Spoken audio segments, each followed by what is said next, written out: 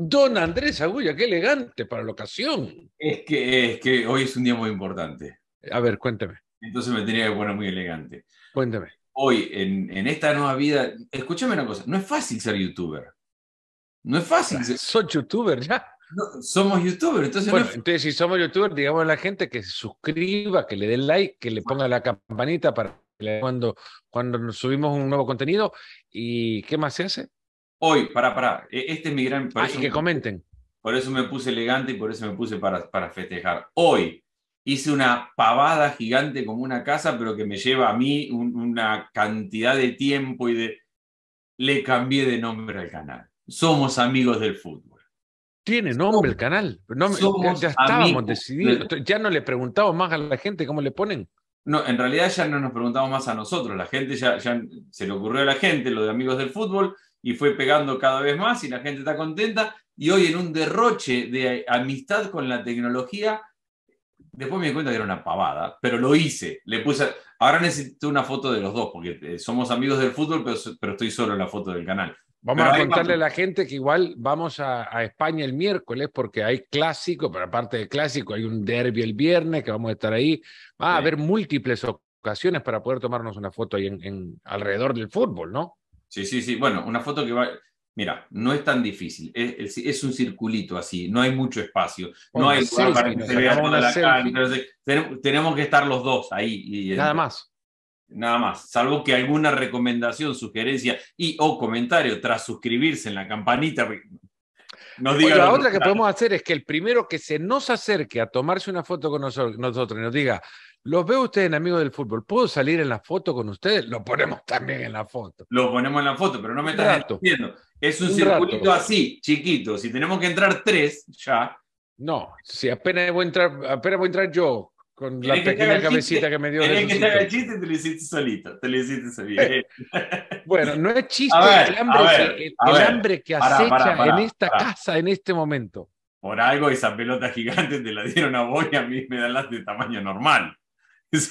El chiste, si me lo hago yo el chiste, es para que el chiste Por termine. eso vos tenés. Arranque ahí y, ter- Yo, y termine ahí. yo tengo estas. Cada uno con. Bueno, mañana, yo, también tengo hambre. Eh, mi mujer está haciendo lentejas y las huelo. Hace frito ya como para lentejas, además. Hace frito para lentejas. ¿Las Eh, lentejas no, no engordan su poquito o no?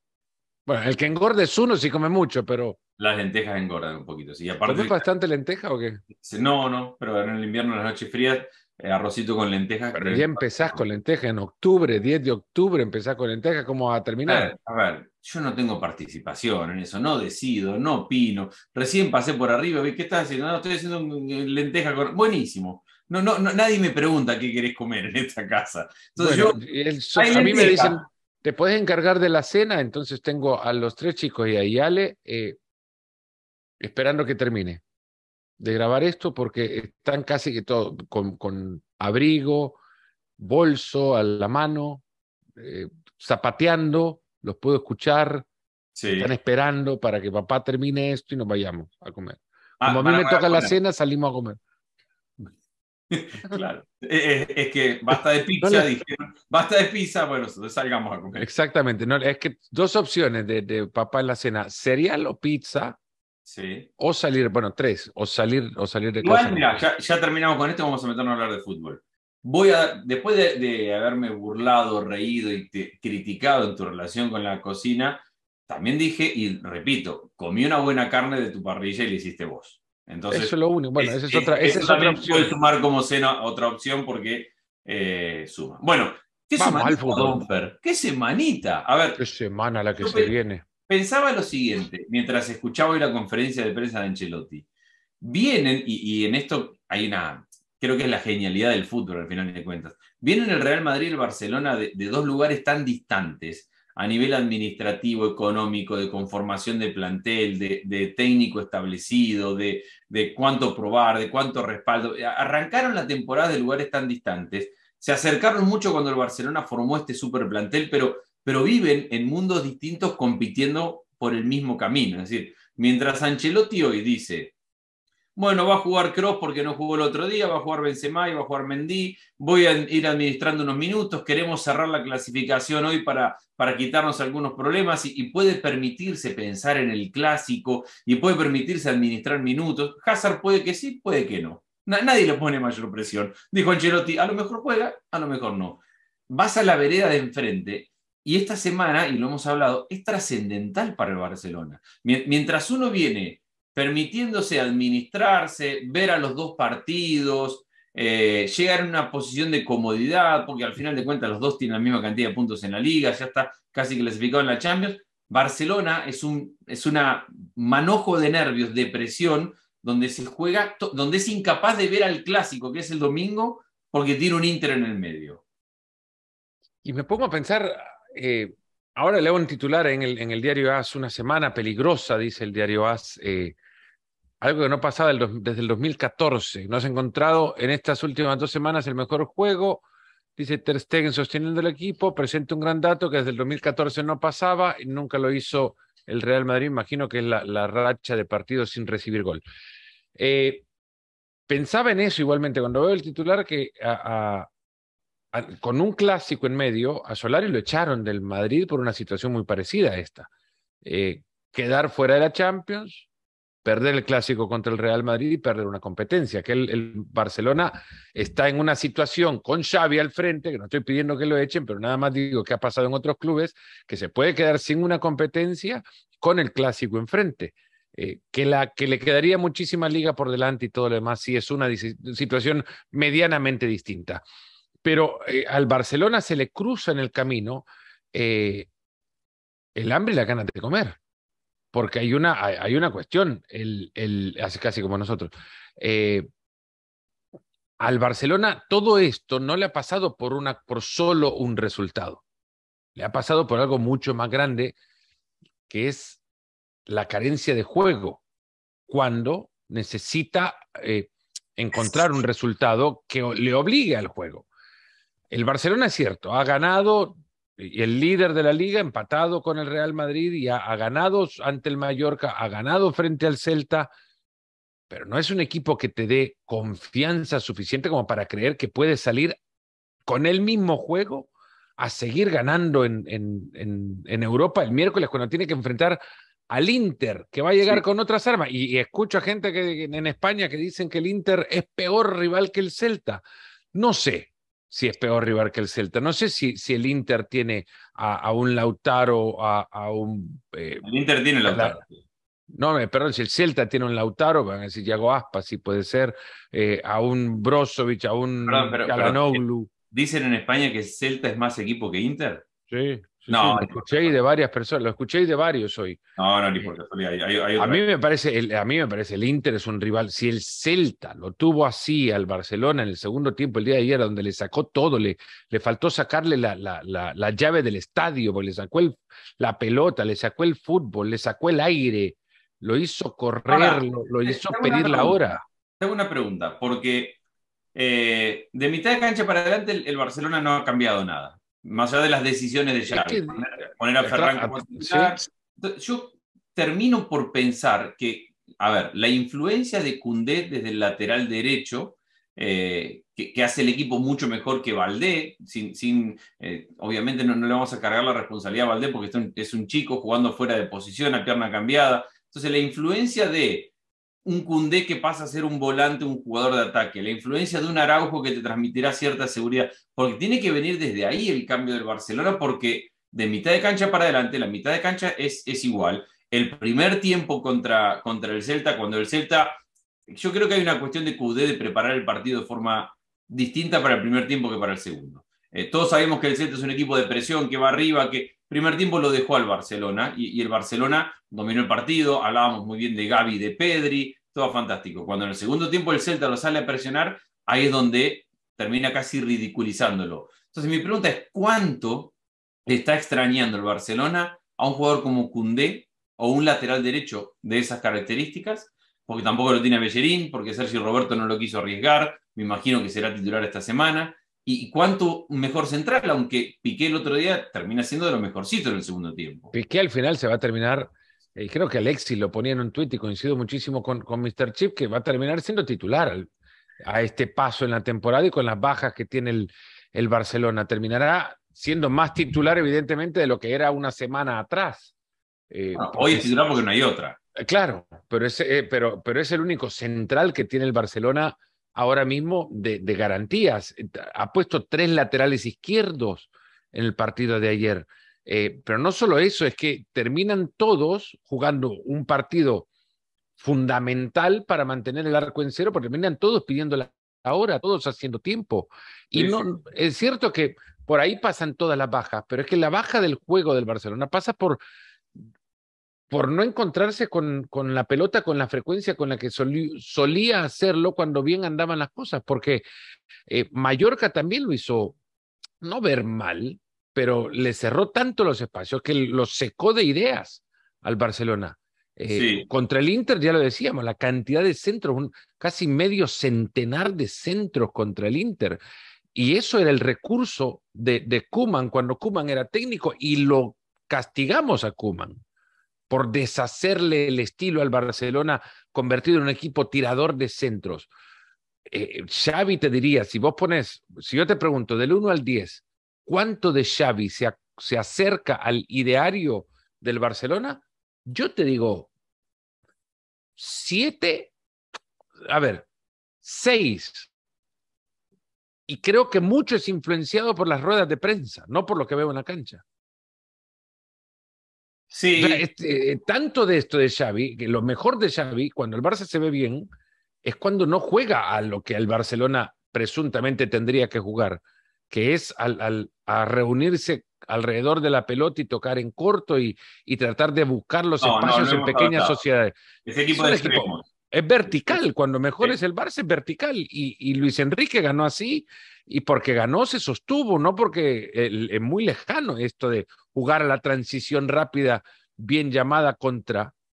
Hay dos bendiciones que tiene Xavi con respecto a esto, porque yo estoy de acuerdo con vos en que es un equipo que se favorece de ser vertical y que en algún momento hace unas semanas decíamos, al final de cuentas, lo que hace el Barcelona es crear un sistema para que los extremos queden uno a uno. Es un equipo de extremos. Hay que llevar la pelota a Rafinha y a Dembélé lo más rápido posible y a partir de ahí el equipo encuentra desequilibrios. Hay una bendición que tiene, si es que se le da el, camino, se llama Pedri Gavi. Eh, Pedri Gavi no, no, los tenía a este nivel Kuman como para decir, tengo volantes interiores de, otra jerarquía en el cual me pueden aportar más. A mí lo, la temporada de Pedri me está pareciendo sensacional. Ya la tuve en aquella temporada donde no descansaba nunca y, así lo pagó. A mí lo de Pedri me parece un jugador diferencial todo el tiempo. Y Gavi va creciendo y va mejorando. Entonces, a lo mejor Barcelona puede cambiar esto y coincido con vos, parecerse más a un Barça de Xavi si Pedri y Gavi siguen creciendo. Ahora, en esta semana, así de difícil, así de complicada, así de riesgosa, también cuando tenés un riesgo tan grande, cuando la, cuando la montaña es tan gigante y el camino está tan difícil, ojo que si subiste agrandás también. Hay, un, efecto, hay un efecto que si, si el Barcelona supera al Inter y, y, acomoda la Champions y, llega al, al, clásico en un buen nivel de confianza y así como vemos el Barcelona complicado en estas últimas dos semanas de fútbol, Ojo que estos riesgos te pueden generar, puede salir para cualquier lado de acá. No, claro, es que la, la, las, eh, los problemas son una oportunidad encubierta, ¿no? Esta, esta pequeña crisis es una oportunidad encubierta y, una, y, quizás en eso también es una llamada a la alerta, ¿no? Claro, y lo decíamos en otra ocasión en la que nos vimos, que este partido, independientemente de lo que habría pasado con el, con el Inter en Milán y de lo que pasaba en la liga, el partido del miércoles era el más importante, porque podría pasar cualquier cosa en Milán, este es el que tienen que ganar para controlar su destino, para ir a los dos siguientes que le quedan y clasificar a la Champions. Pero a este llegan habiendo jugado mal contra Mallorca, habiendo tenido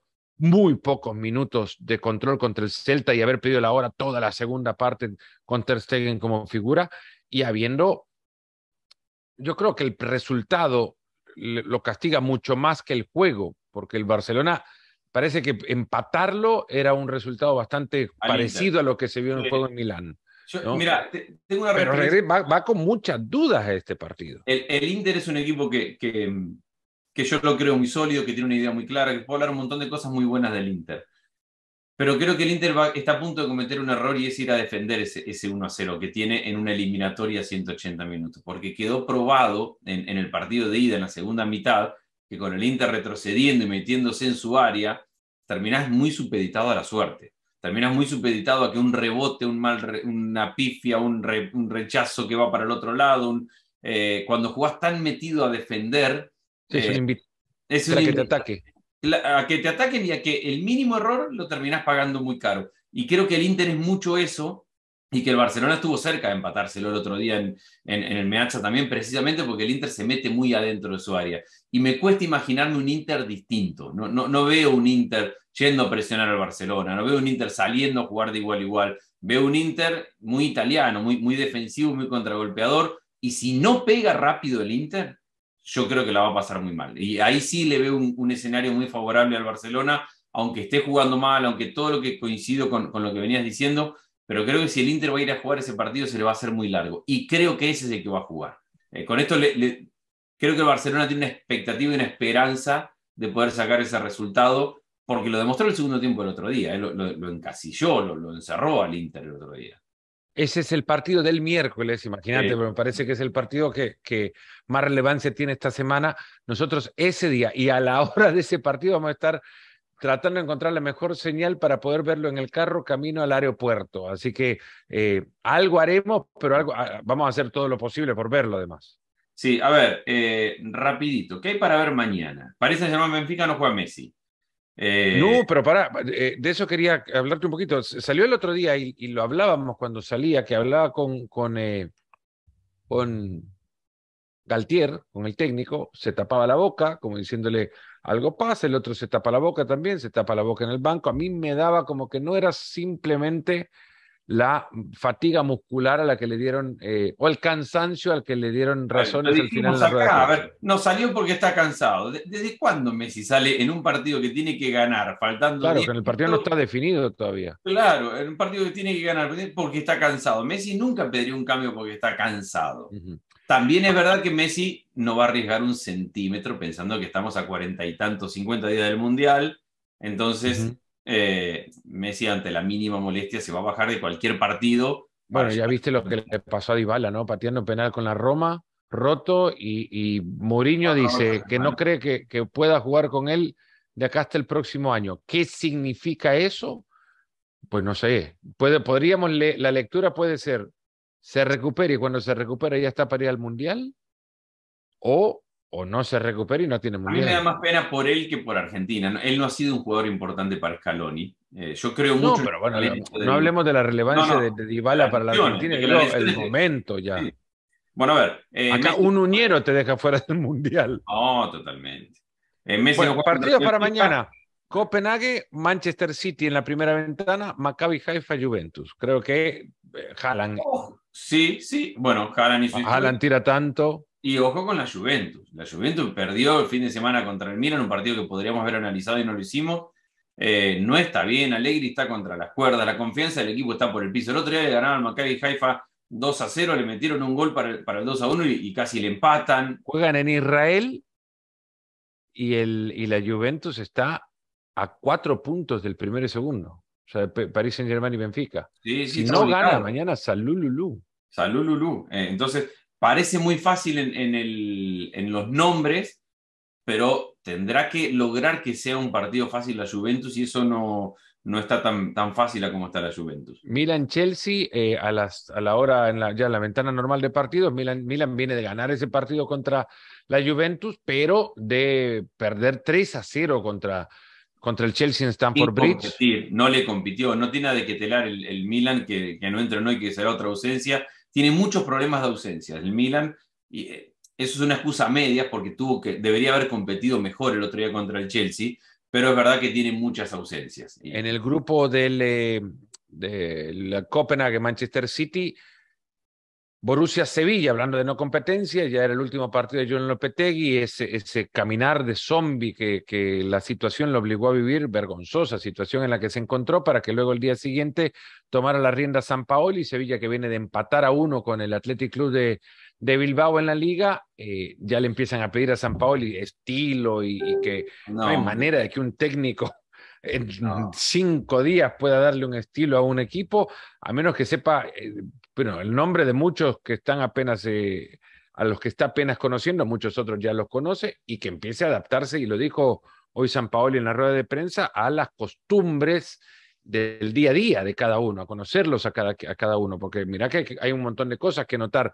En ese libro que te contaba que estaba leyendo, el partido que cuenta la historia del, Italia-Brasil del 82. Hoy, el capítulo que dejé de leer hoy, eh, hablaba sobre cómo Enzo Bersot, que lo harán todos, digo yo, pero a mí me, me, me, me parece interesante igual.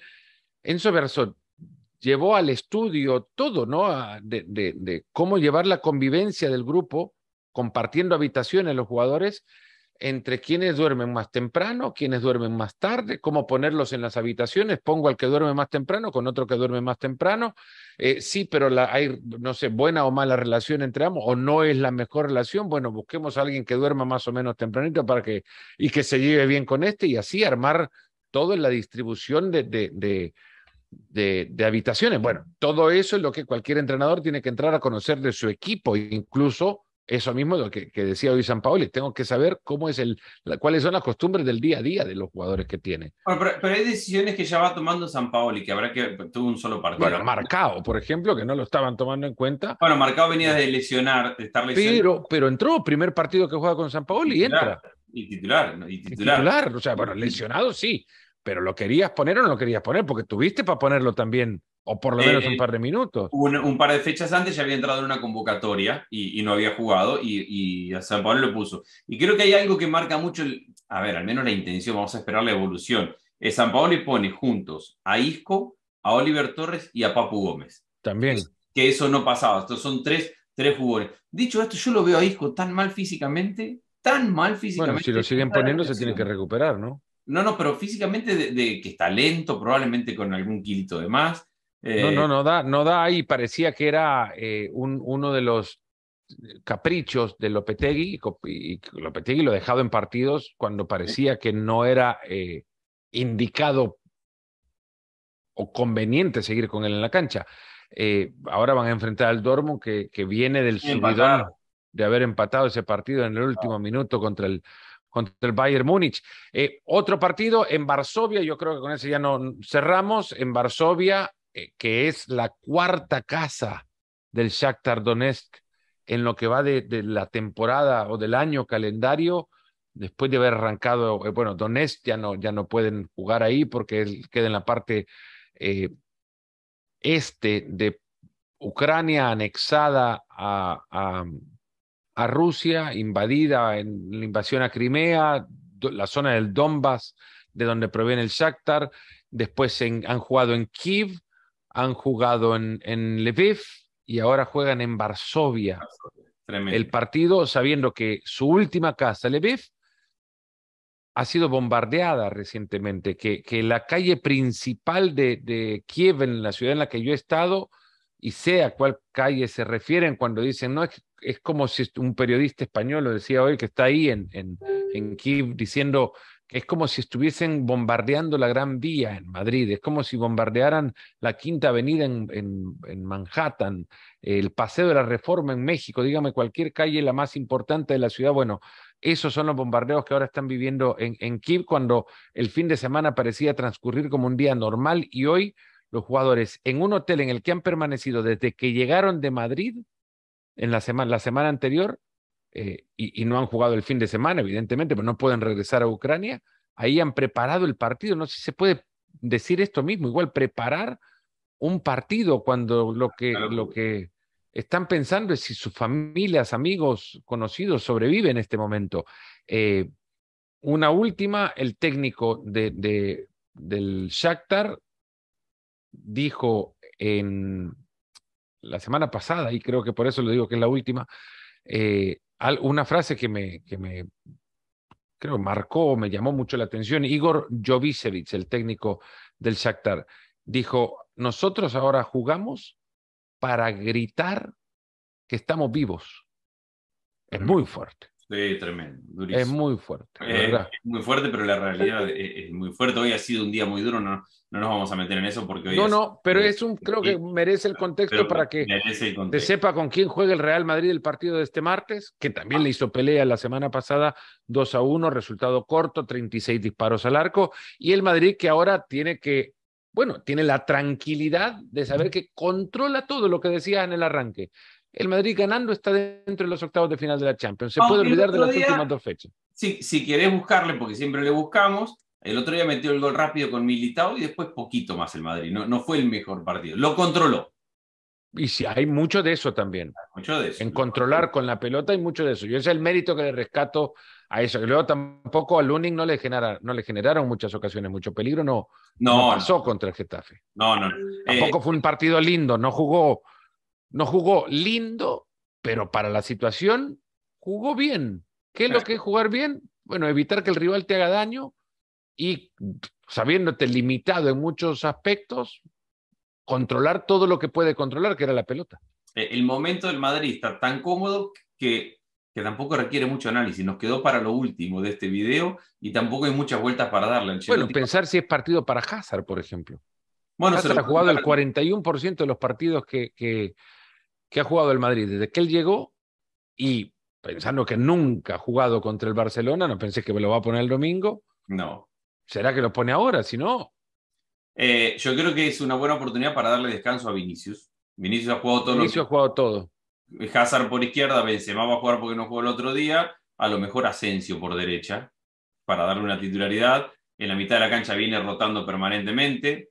Así que va a jugar Cross, ya lo dijo descansar a Modric, lo decías vos el otro día, jugó el fin de semana, lo, va a descansar. Mendy y Kroos ya son titulares. Karim está bien, está claro que empieza de inicio este partido, dijo. Hay tres, titulares. Eh, Courtois va a llegar para el clásico, al menos al día de hoy, pero no para el jueves se entrena.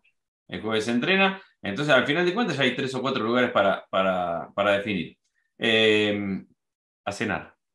A cenar. A cenar. Estaba viendo la hora, sí. Sí, sí, sí. A cenar. Eh, mañana bueno, Mañana nos veremos y, analicemos lo que permite analizar la jornada y, hablamos de cómo hacer maletas también. Hablemos de cómo hacer maletas porque sí, mañana tengo que hacer compras para viajar, entonces tengo que definir cómo hacer maletas. compras para viajar? Si viajas, ¿qué tenés que comprar? Bueno, no sé, algo que me haga falta para llevar. Ahora tengo que ver, cuando hablemos de las maletas y calculemos qué tenemos que llevar, digo qué me falta y a partir de esto quiero comprar. Mira, te quiero mostrar la nueva adquisición para la casa. Bueno, para la oficina. ¿Ves eso? Naranja. ¿Te compraste una alfombra? Una alfombra. ¿Te compraste una alfombra? Me, la regalaron una, una, alfombra. Me regalaron una alfombra. Ah, para, para. ¿Eso merece capítulo o, lo.? Porque si, si, te pregunto. Si te pregunto, si te pregunto, te quedas sin cena. ¿Qué tiene, especial, ¿Qué tiene especial esa alfombra? Es pista atlética. Estás mal. Es, piso de pista atlética de verdad. Sí. Se ha usado en grandes competencias, además. Los fabricantes de las pistas que en las que se compiten los Juegos Olímpicos, Mondo, sí. me mandaron a regalar una, una alfombra de pista atlética. Me, pongo colorado y solo estaba un poquillo, me da un poquito de esta vergüenza. No, lo bueno es que en esa pista atlética tenés todos los récords, porque es tuya. Está ahí. claro. nadie corrió más que yo, más rápido que yo. Por eso, ahí tenés todos los récords. Pero además creo que está bien para, para el eco del, Está bien porque está bien. Porque es atlética. Porque, la tengo que pintar después. Está loco, mira qué lindo color. Está lululú.